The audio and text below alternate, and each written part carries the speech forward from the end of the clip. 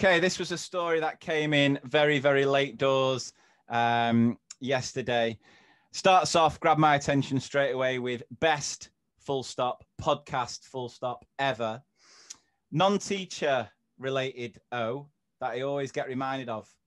I was once at a football stadium and my girlfriend at the time turned and asked me, Why are all the people wearing a high vis jacket named Stuart?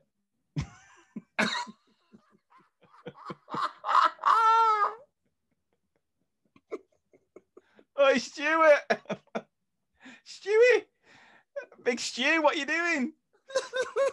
Get this though. They all had steward on the back of their high vis jackets.